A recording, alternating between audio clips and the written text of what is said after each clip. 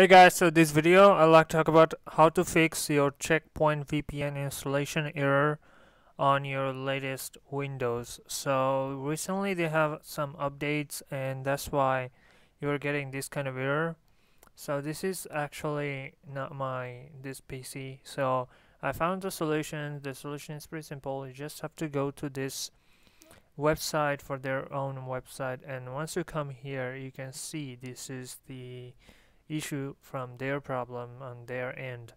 So it's not your Windows problem. So all you have to do is nothing.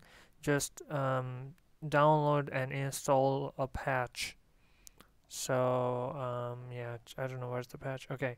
So resolving this issue. So you have to download this patch. So I'm just gonna click it over here and it will open a new window. And all you have to do is just download.